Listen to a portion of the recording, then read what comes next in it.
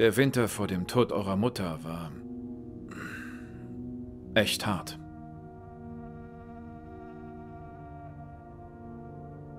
Delos Crossing war Monate eingeschneit.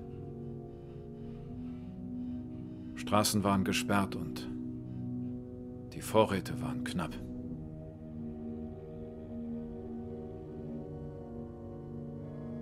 Alle traf es hart. Besonders Marianne.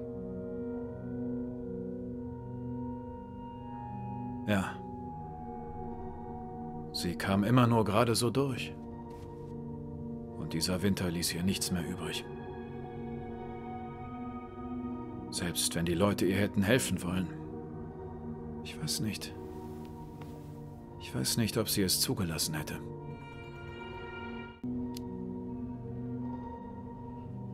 Du sagst, Tessa hat unsere Mutter aufgrund von Versorgungsproblemen gemeldet?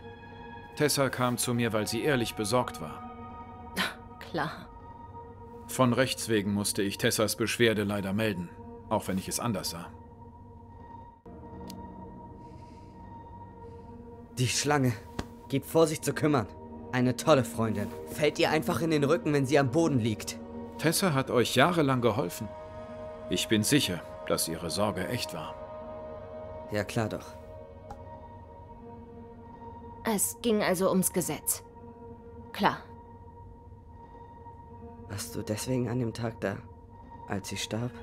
Um sie vor dem Jugendamt zu warnen? Sie hat euch beide so sehr geliebt. Sie verdiente die Chance. Ich. Ich sah es nicht kommen.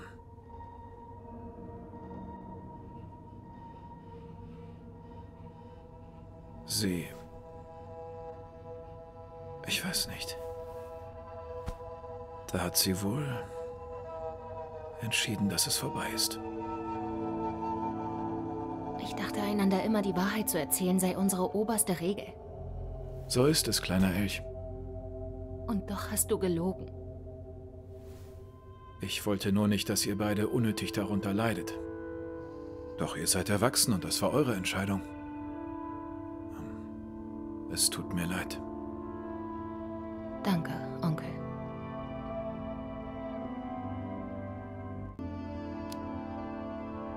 Was? Das ist Bullshit. Er hat nicht vergessen, deine Pflanzen zu gießen. Er hat gelogen. Vergiss es. Eddie, du zeigst immer mit dem Finger auf Tessa, aber du musst Verantwortung für deinen Anteil am Tod unserer Mutter tragen. Die letzten zehn Jahre habe ich mich wieder und wieder gefragt, was ich hätte anders machen können. Ich weiß, ich habe mich euch gegenüber nicht korrekt verhalten. Und ihr habt jedes Recht, wütend zu sein. Vater zu sein? Tja, das ist verdammt schwer. Ich gebe mein Bestes. Und das möchte ich auch mit dir versuchen, Tyler, wenn du willst.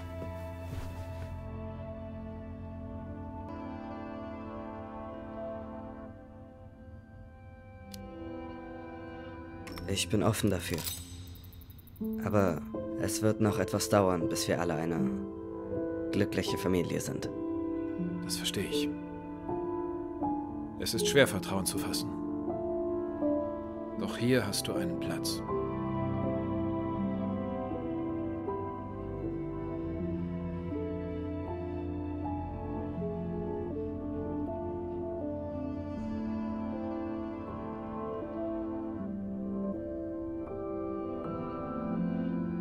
Umarmung? Äh, nein. Auf gar keinen Fall.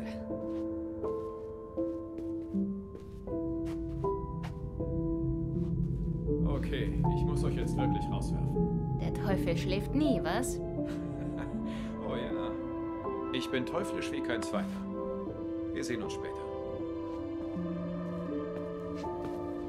Oh mein Gott. Na, das lief besser, als ich befürchtet hatte.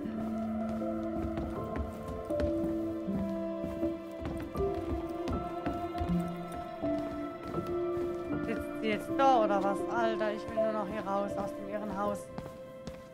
Oh mein Gott. Lange Geschichte. Hey, nicht vergessen.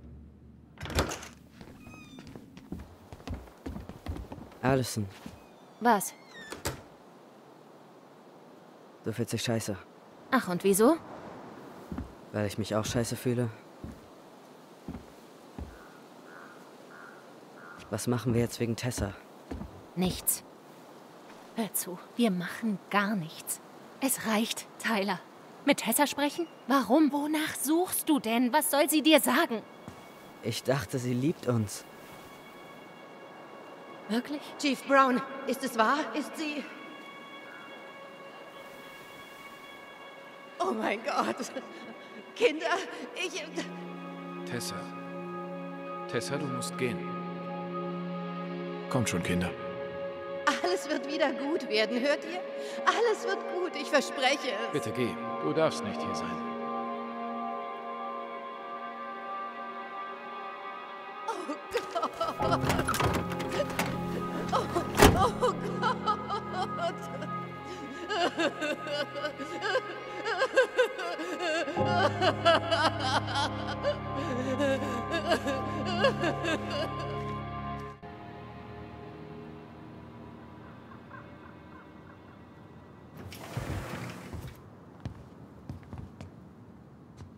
Wo sind denn alle hin? Tessa muss hier irgendwo sein. Redet ihr jetzt doch mit der Tessa oder was ist hier los? Ich glaube, ich höre was. Na, zumindest wissen wir, dass nicht alle einfach weg sind.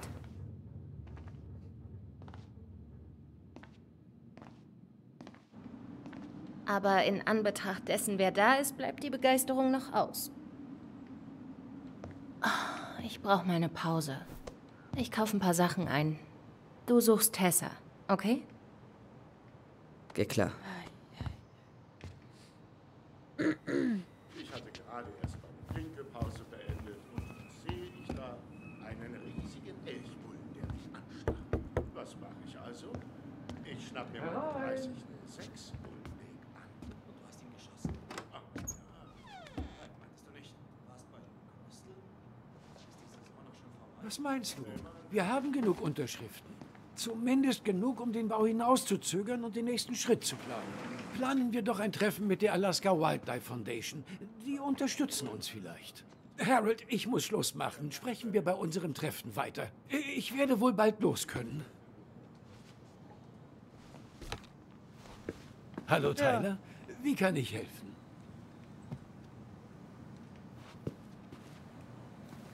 Hallo. Kann ich mit dir reden? Hey, ich hoffe, das passt euch gerade. Sag mal, ist Tessa heute hier?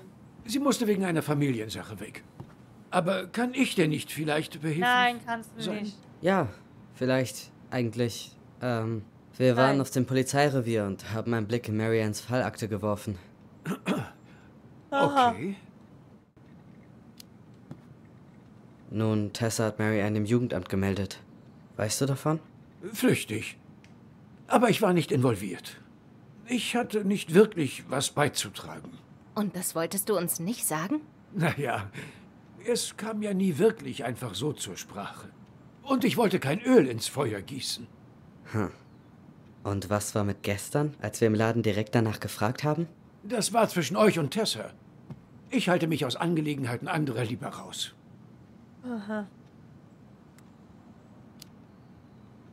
Warum kam Tessa in der Nacht aufs Polizeirevier? Sie hat euch zwei gesucht, um zu sehen, ob es euch gut geht. Als sie hörte, was passiert ist, war sie fix und fertig. Wie hat sie so schnell davon erfahren? Ich weiß nicht mehr, wer angerufen hat. Du weißt, wie es ist. Nichts verbreitet sich schneller als Geheimnisse.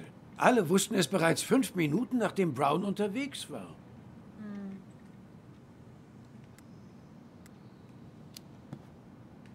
Okay. Danke. Hör zu. Es tut mir leid, wenn von den Leuten hier Widerstand kam. Das kann man sagen. Allison, du weißt es besser als jeder andere. Der Tod eurer Mutter hat in der Gemeinde eine Narbe hinterlassen. Ich will nicht behaupten, wir hätten etwas Vergleichbares durchgemacht wie ihr. Aber es hat uns die Grenzen des Vertrauens aufgezeigt.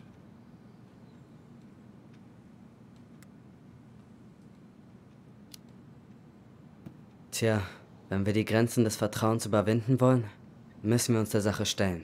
Und das bedeutet absolute Aufrichtigkeit. Wir alle suchen Frieden, Kinder.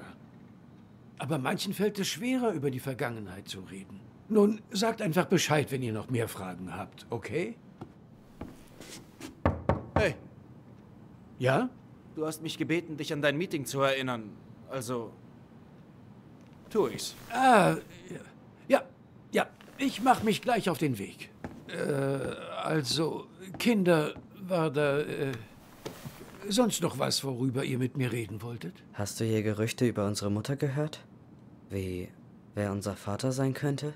Also, ich bin jetzt keine Klatschtante. Eure Mutter stand ein paar Männern nahe, aber ob einer davon euer Vater war, das weiß ich nicht. Interessant. Hört zu, ich. Oh je. Bitte. Äh, äh, Entschuldigt mich. Ich muss jetzt echt los. Äh, Michael, könntest du dich um den Lagerraum kümmern und den Laden schließen? Hey, kein Problem, Chef. Bis später. Sehr interessante. Wollt ihr beide mir vielleicht helfen und einen Nachmittag umsonst arbeiten? Nein. Warum nicht? Wir wollten ja mit Tessa reden und die ist nicht da. Ähm, sie, sie ist gerade auf dem Friedhof. Besucht ihre Eltern. Oh, Hey, wisst ihr was? Warum helft ihr mir nicht beim Ladenschluss? Und dann fahren wir zusammen rüber. Ich wollte eh meinen Onkel besuchen. können wir nicht einfach hier auf sie warten? Ich. Ich muss da nicht unbedingt hingehen.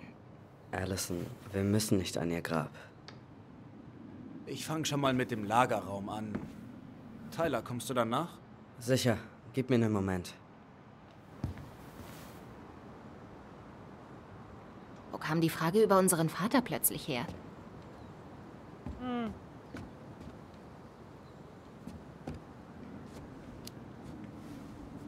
Ich habe mich nur gefragt, wer er wohl ist. Und ob er irgendetwas weiß, das uns in dieser Sache weiterhilft. Warum? Er war nie für uns da. Außerdem meinte Marianne immer, wir hätten keinen Vater. Ihr Name war zwar Mary, aber ich glaube nicht, dass sie der Typ für eine unbefleckte Empfängnis war. Ei, jo. Hey, der Plan scheint dich nicht so zu begeistern, was? Ja, wie gesagt, ich find's nicht so toll, zum Friedhof zu gehen. Sollen wir also nicht hingehen? Nein, das ist es nicht. Wir gehen ja, es ist nur. Ich muss erst mal mit meinen Gefühlen klarkommen. Okay. Ähm, entschuldige, dass ich frustriert war. So ist es eben, hä? Hab Spaß mit Michael und ich schließ die Kasse. Sicher, dass es dir gut geht? Ja, also geh schon. Hey, Okay, ich muss in den Lagerraum, um Michael zu helfen. Wo ist der Lagerraum? Ah, da hinten. Gut, da habe ich schon gezählt. Aber du kannst noch ein paar Dinge für mich prüfen. Es ist nicht kompliziert. Das habe ich in der Tasche. Ach ja? Weil du so verdammt gut bist?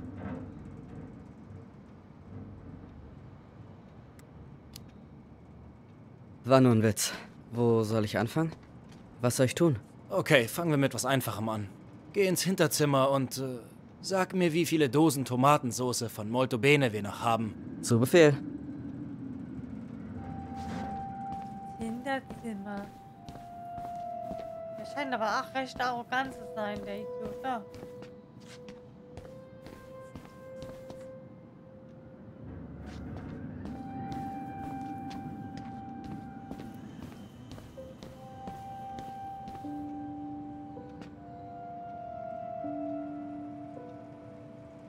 Warte, lass mich zählen.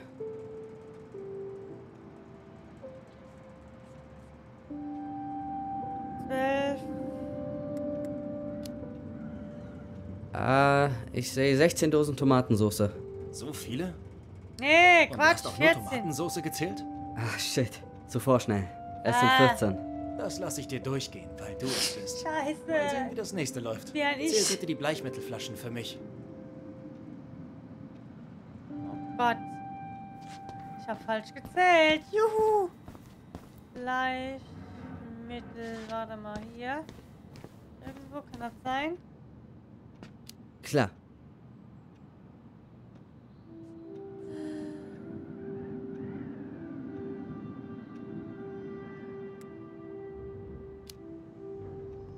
Sechs. Okay. Nicht schlecht, Tyler. Aha. Nicht schlecht. Pass Kann auf. Sie geben mir noch deinen Job. Oh, den kannst du haben. Äh, und jetzt? Komm her und hilf mir damit. Oh mein Gott, wie komme ich auf das denn? Kann ich sehen. So. Was ist? Ich brauche deine Meinung zu diesem Meisterwerk. Weg. Soll das etwa ich sein? Ja, komm schon, sieh dir die Haare an. Volltreffer, hm? Was?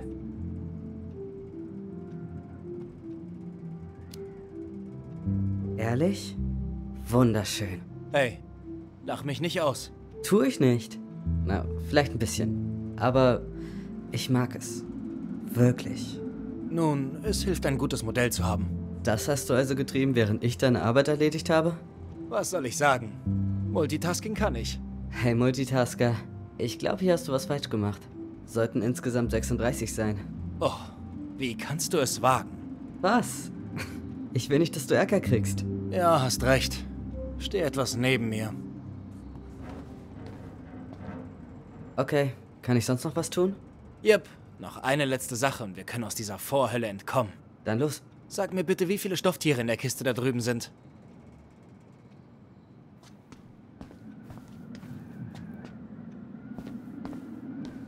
In welcher Kiste?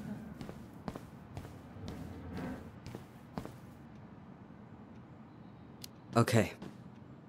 Also, Hoch, vier, sechs, acht, sieben, elf.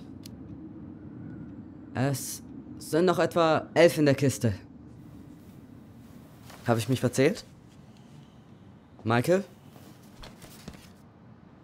Ah, was zum Teufel? Hey, sorry. Das war einfach zu verlockend. Regel Nummer eins in der uralten Kunst der Inventur. Immer besonders wachsam bleiben. Du hast keine Ahnung, worauf du dich einlässt. Der Erste mit drei klaren Treffern gewinnt. Okay?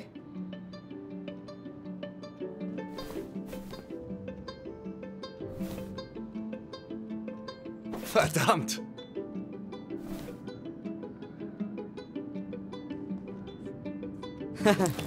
Hab dich!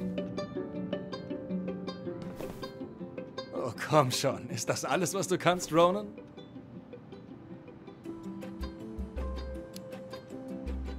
Wart's nur ab. Ich habe einen Plan. Ach ja, wir werden sehen.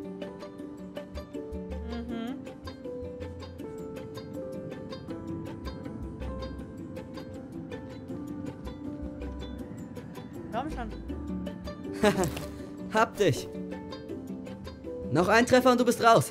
Spüre meinen Zorn. Mann, bist du kitschig. Das ist also ein normaler Arbeitstag bei dir. Nee, für gewöhnlich habe ich dabei keine so hübsche Begleitung.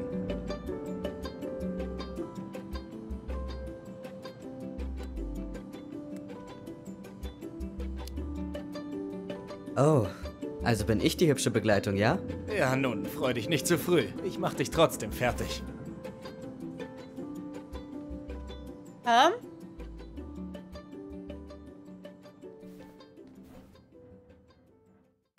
Hey, wir sollten das bald beenden.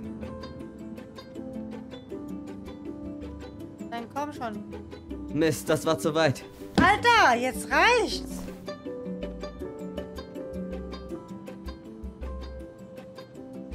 Mist, das war zu weit.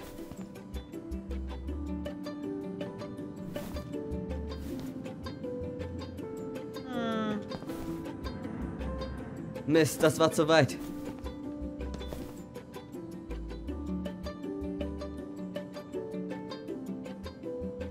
Mist, das war zu weit.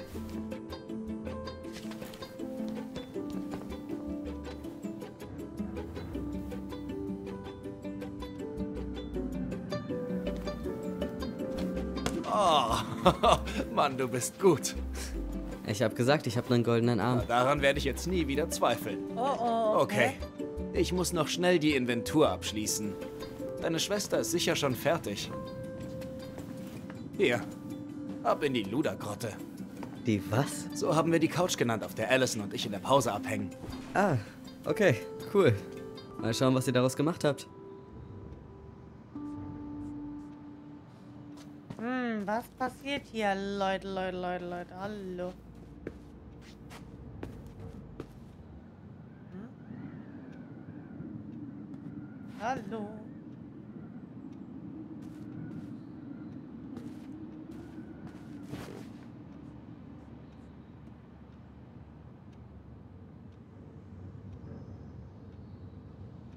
Ist das Chief Brown? Ja, Seid ihr verwandt oder? nee, aber im selben Clan. Was? Welcher Clan? Octopus-Clan. Moidi des Raben. Cool. Bist du eng mit den Leuten im Clan verbunden? Ja, wir stehen uns ziemlich nah. Ich meine, wir sind echt verstreut, also kenne ich nicht alle so gut. Aber sie sind trotzdem Familie. Mein Onkel William stand mir wirklich nah, bis er starb. Es ist sein Grab, das ich besuchen will. Oh, ja. Natürlich. Und fertig. Ich muss schon sagen, es ist echt schräg, den anderen Ronan zu treffen. Du meinst den OG Ronan? Ich wurde immerhin zuerst geboren. Ist das so? Allison meinte, sie war's. Tja, meine Mutter hat's uns nie gesagt, aber ich war's. Also, warum ist es so komisch, mich zu treffen? Naja, Allison hat mir deine Geschichte so oft erzählt. Sie hat mir alles über dich erzählt. Fireweed, deine Transition. Ich hoffe natürlich, das war okay. Ja, schon gut. Sie hat mich erst gefragt. Ja, ergibt Sinn. Das Mädchen ist gründlich und sie liebt dich sehr. Wirklich. Ich weiß. Also, ja, äh, neben Allison warst du wahrscheinlich der Erste, der es erfahren hat. Danke für dein Vertrauen. Und es ist toll, dich endlich kennenzulernen. In echt. Du bist cool. Du bist auch nicht so übel. Ich gebe alles. Insbesondere, wenn ich wen beeindrucken will. Ich habe das nicht nur so gesagt, als ich meinte, du sollst mit uns nach Juno ziehen. Ich weiß. Äh, ich habe eine Community da. Könnte auch deine sein. Hm, dazu passen. Das ist eine Idee. Du hast keine Ahnung, wie gut einem so eine Wunschfamilie tun kann. Sie haben mir öfter Mut gemacht, als ich zählen kann. Versteh schon. Hey, kann ich dich etwas fragen? Na klar. Was? Warum willst du mich so sehr nach Juno bringen? Ah, hör zu, wie gesagt. Ich will dich kennenlernen. Etwa weil ich so faszinierend bin? Ehrlich gesagt, ja. Du scheinst mir echt einzigartig, Tyler Ronan.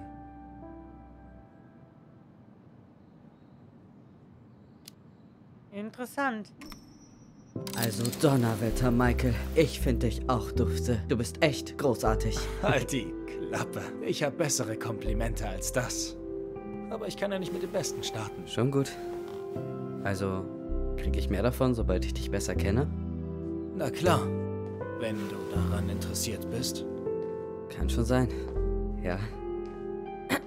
Oh, hey. Ich stehe seit einer Stunde am Tresen und warte auf euch zwei Dummköpfe.